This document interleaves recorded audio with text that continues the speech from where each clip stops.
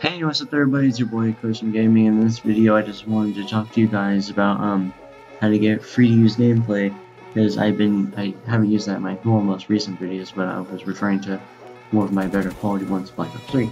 Um I noticed on YouTube there are a lot of new gaming channels that have maybe like around my time they have like kind of the same quality as mine. Um but yeah and I, I've been doing I've been getting these free to use gameplays which actually help a lot and help like increase your um, quality a lot. Like, just it's it's it's great. Like now my videos actually look really good, and I can use um, most like really recent looking games too. And uh,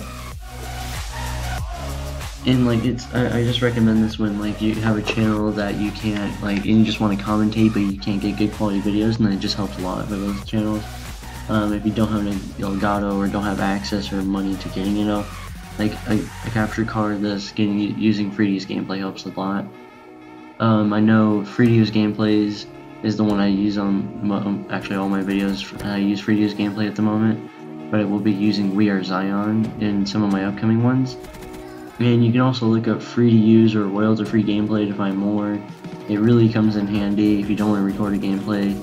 If, if you can record it and you have that uh, have that chance, like you have the option to record it and yeah, it just it just helps a lot.